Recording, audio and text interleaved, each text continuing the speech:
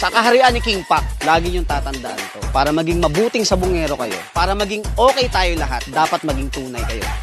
Honest dapat tayo sa isa't isa. Pagkakatiwalaan ka, meron kang paninindigan sa sarili. In the future, maaabot mo kung ano yung gusto mo. Basta magpakatotoo ka lang. Eto mga katupak, ano, bago tayo magsimula, ah, sabay-sabay nating i-congratulate at sabay-sabay nating i-welcome yung bagong miyembro ng Wild Boys, si Joe R. ng Super Andre Game Farm from Florida Blanca, Pampanga. Ayan, Joe R. Yan, brother. ah, welcome sa'yo at syempre abangan mo yung mga imported na manok na darating no ngayong December kasi nagsisimula pa lang to si Joe R pero napakaganda ng setup ng manukan niya no napakaganda at ah, napaka well organized. So kulang na lang may mga manok na siya ilan-ilan pero inaantay din niya yung mga manok na imported na darating galing ah, Los Angeles, California from Kurt Alindogan. Okay Ah, welcome again Joe R from ah, Florida, Pampanga, ah, Florida Blanca, Pampanga yan ng Super Andre Game Farm. Siyempre kay Joe Boy, si Joe Boy ng ah, Wild Boys Group.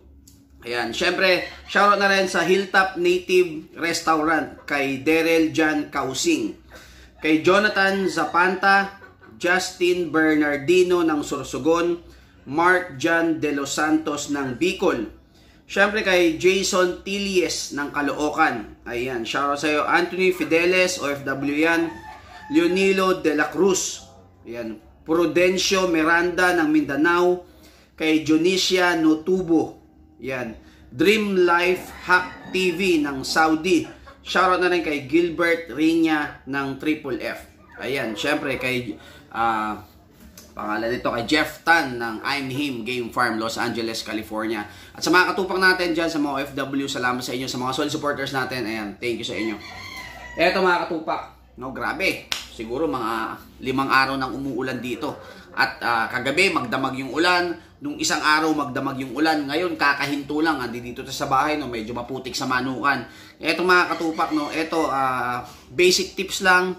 Ito yung mga ginagamit ko ng mga vitamins dito. Lalong-lalo na mga katupak kapag ka umuulan, dapat meron tayong suporta, no? Sa lamig, suporta sa sa basa ng ulan kasi mga katupak pag yung manok natin napabayaan natin na ulanan, yung iba nga isang araw lang o maambunan yung iba nagkakasakit na. So kailangan natin mga katupak bago magkasakit ng mga yan, meron tayong pangdepensa. Ito yung mga basic ko na ginagamit dito. Share ko sa inyo mga katupak. Ayan. Ah, simulan natin dito. Ito no, grabe. Mas napapa mas napapagastos tayo sa sentrum ngayon, no. Mas marami tayong sentrum, grabe oh. Hindi pa lahat 'yan, ano.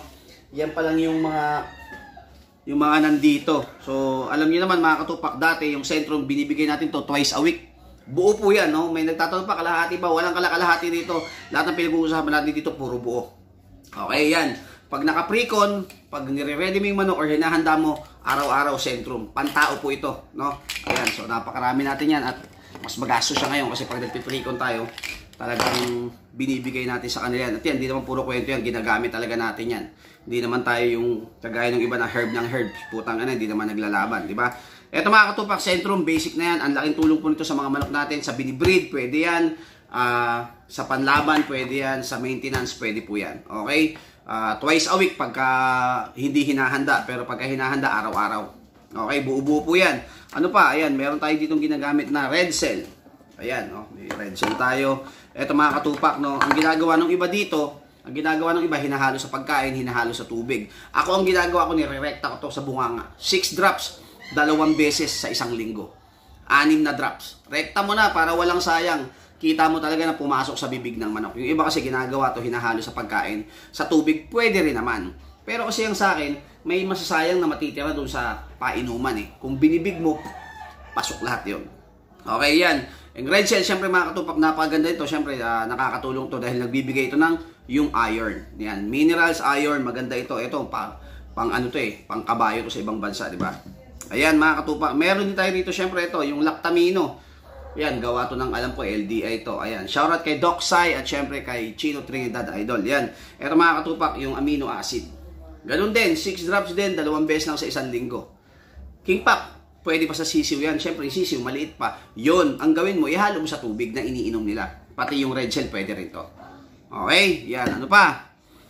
Siyempre, ito, Ito meron tayong ginagamit natin na Korean jelly. Ayan mga katupak. So ito naman twice a week din, Tuesday and Friday. Ayan, Korean jelly sa mga walang ganito, walang magamit na ganito. Ayan, meron tayong available dito niyan. At binabagsakan tayo nito. At itong ginagamit natin sa uh, maintenance hanggang conditioning. Ayan, mga katupak. Korean jelly.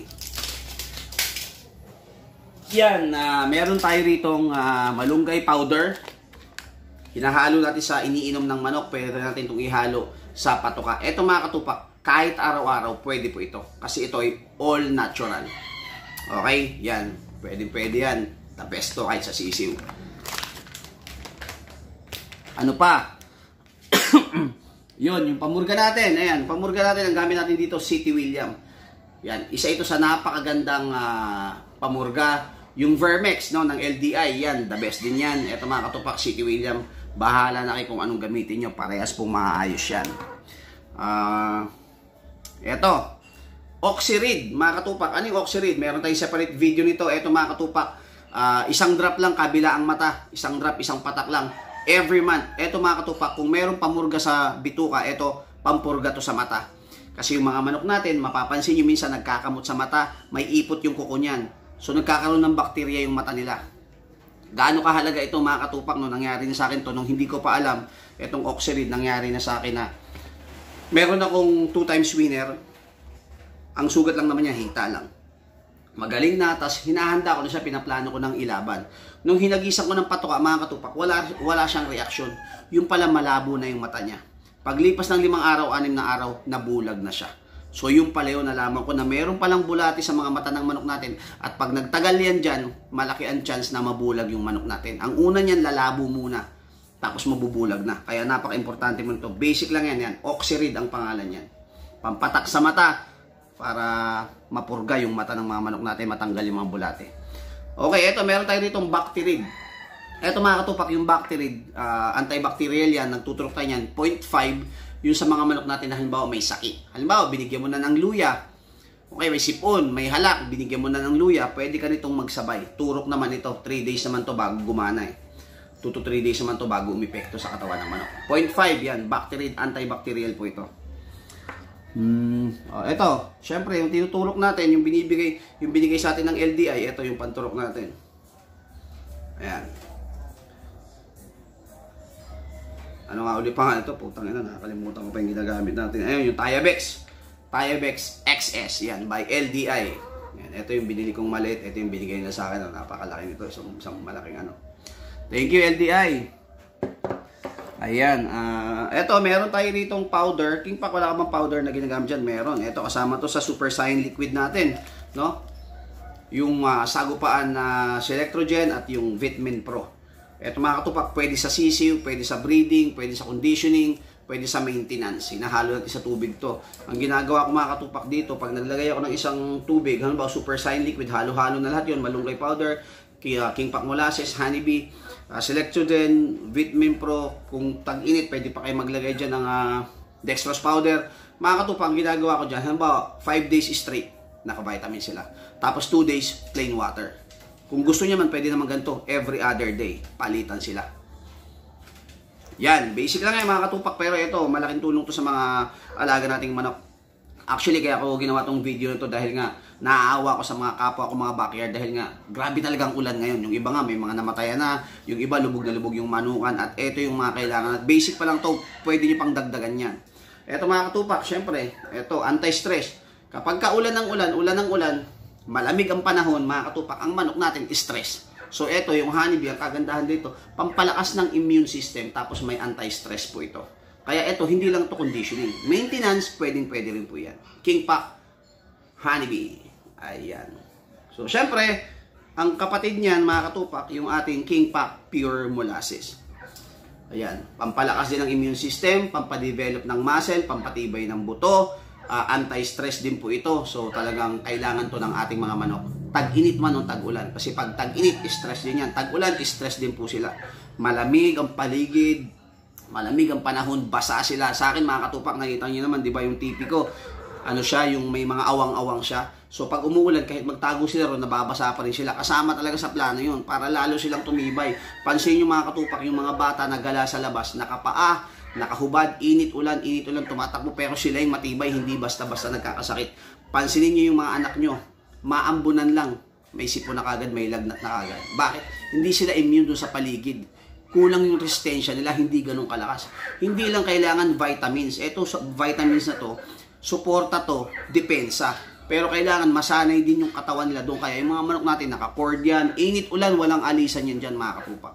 Hindi po inaalis yan. King pa, kawawa naman 7 days. O kaya ng manok mo yung kaya.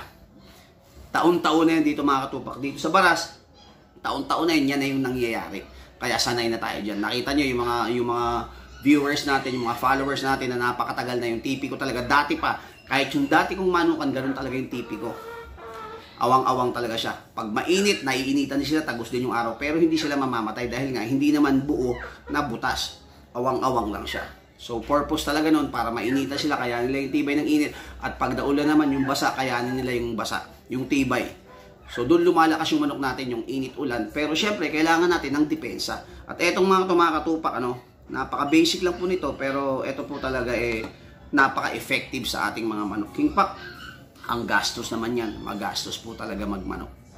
King Pak, ang dami naman pala. Kulang pa nga to eh. Hindi ko pa nga pinakita lahat. Napakarami pa. Wala pa tayong dextrose powder. Hindi pa tayo nagpakita ng mga delight. Ang dami na. Sako-sako na yung lagayan natin ng delight. Ano yung probiotics natin. Napakarami pa natin pwedeng maibigay sa mga manok natin. Pero ito pa lang mga to, medyo solid na tong mga to. Yung centrum nga lang natin. Yung, naku, hindi ko madakot lahat kung gaano karami naipon-ipon na. Bukod pa yung nandun pa sa manukan kasi nga 'di ba uh, pag nagko-kondisyon tayo hamo nag-precon lang tayo rito ng anim. Putang ina anim. Araw-araw subo yun. Tuwing alas 7 ng gabi.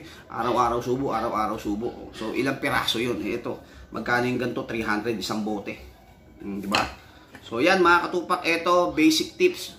Uh, sana ma-inspired ko kayo. Sana makatulong sa inyo. Very helpful to mga katupak. At uh, napaka-inspirational nitong mga to. At uh, ang laking bagay talaga na meron tayong maibigay nito sa ating mga alagang manok. Lalo na sa ganitong klasing panahon. Huwag ka na magtipid. Maniwala ka sa akin, pag tinipid mo yung manok mo ngayong panahon na to, pahihirapan ka niyan pagka nagkasipon yan, pagka nagkahalak yan, mamamatay yung manok mo, mas malaki mawawala sa'yo. Eh eto, sabi nga nila, uh, mas maganda na na prevent. Yung sabi nga sa English, prevention is better than cure. Maiwasan yung magkasakit kaysa sa gamutin mo pa kaysa gumastos ka pa doon sa mga uh, pambili ng gamot para gumaling yung sipon, yung halak nila, kung ano mang tumaman sakit sa kanila.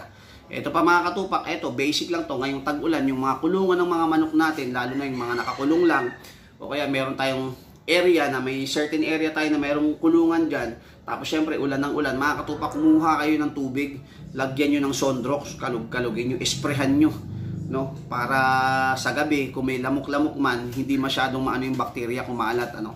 Kasi pag umuulan kulang sa init yung bakterya namumuo tapos nababasa-basa yung ipot yun. Malaki yung chance ng mga manok natin magkasakit yan. Eto napakasimple lang yan. Gawin mo yan kung kaya mong gawin araw-araw mas maganda eh. Isprehan mo yung kulungan yung sahig na may halong sondrox pati yung ilalim yung mga ipot isprehan mo yun para mamatay yung bakterya at maiwasan natin yung mga sakit-sakit sa ating mga alagang manok yan. Sana mga katupak, makatulong to sa inyo. Ayan, napakasimple lang. Again, meron tayong red cell. Di ba? Meron tayong uh, lactamino. Ito mga katupak, may nakalimutan pala ako. Ito yung madalas kong gamitin. Ano? Sabay ko na rin to. Yung quick heal. Ayan, marami tayo nito kasi madalas tayong maglaban. Yung quick heal mga katupak, sobrang effective nito kapag kayong manok natin may sugat sa labas. I-spray po natin yan, lalo na yung mga apak tari. Mga katupak, pag nakaapak ng ipot yan, pwedeng madisgrasya yung daliri ng manok mo, masira pa.